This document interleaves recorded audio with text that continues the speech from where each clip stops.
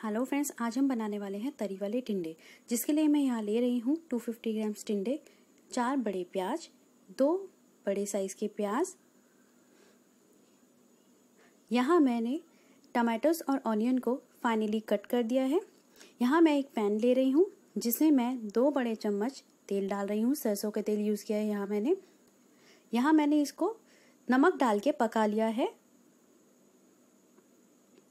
अब मैं इस पैन में जीरा ऐड कर देती हूँ और यहाँ मैं जीरा को तड़कने देती हूँ।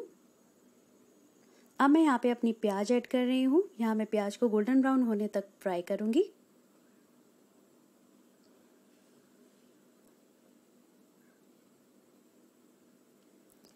अब मैं टिंडो को छील के, छील लेती हूँ और यहाँ मैंने टिंडो को बीच में से कट किया है। आप देख सकते हैं कि मैं यहाँ पे टिंडो को बीच में से कट करके उनमें चेक मार्क बना रही हूँ। आप चाहे तो यहाँ टिंडो को छोटे साइज़ के भी काट सकते हैं पर पर्सनली मुझे टिंडे इसी साइज़ के पसंद है इस इस वाली सब्ज़ी में। आप चाहे तो यहाँ उसके छोटे पीस चार साइज़ में या ज़्यादा भी काट सकते हैं।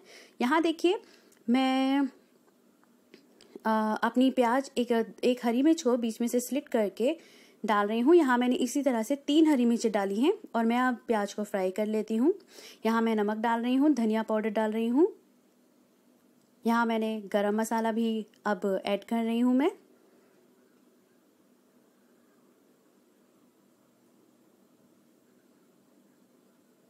अब मैं सारे मसाले को फ्राई कर रही हूँ। अब मैंने रेड चिली पाउडर ऐड कर दिया है। अब मैं यहाँ हल्दी पाउडर ऐड कर रही हूँ। यहाँ मैं एक मसाला ऐड करूँगी, जो मेरा खुद का होममेड बनाया हुआ मसाला है। ये सब्ज़ी मसाला है, ये आप करेलो और कई तरह की सब्ज़ी में यूज़ कर सकते हैं। इसका इसका वीडियो मैंने यूट्यूब पे ऑलरेडी अपलोड कर दिया है। अब यहाँ मैं वो मसाला, जो सब्ज़ी मसाला है, ये डाल के फ्राई कर लेती हूँ। अब मैं यहाँ जो मैंने ऑनियन कट किए हैं, ये मैंने चाकू की सहायता से ही कट किए हैं। अब यहाँ मैं ये ऐड कर देती हूँ। अब मैं मसाले को फ्राई कर देती हूँ।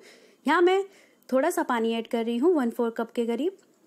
यहाँ पानी ऐड करके मैं प्याज को भून लूँगी अच्छे से, जिससे कि वो अच्छे से अपना ऑयल जो है सेपरेट हो जाए प्याज से। यह देखिए, अब मैंने ऑयल सेपरेट होने तक प्याज को भून लिया है।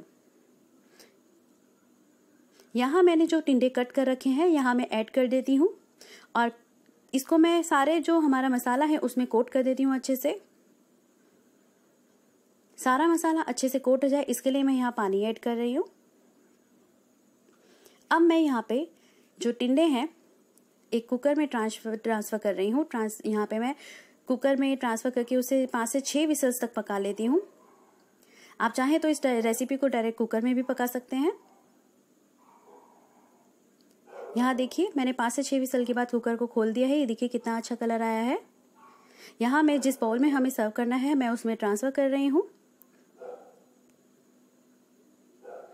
अब मैं इसे गार्निश कर देती हूँ धनिया पत्ती के साथ। इसे आप रोटी, पराठे या नान के साथ खा सकते हैं। ये बहुत ही सिंपल और आसान रेसिपी है और नॉर्मली आप बहुत जल्दी क्विकली बना सकते हैं। अगर आपको मेरी रेसिपी पसंद आई है तो प्लीज़ प्लीज़ लाइक सब्सक्राइब और शेयर ज़रूर कीजिए। मेरे चैनल को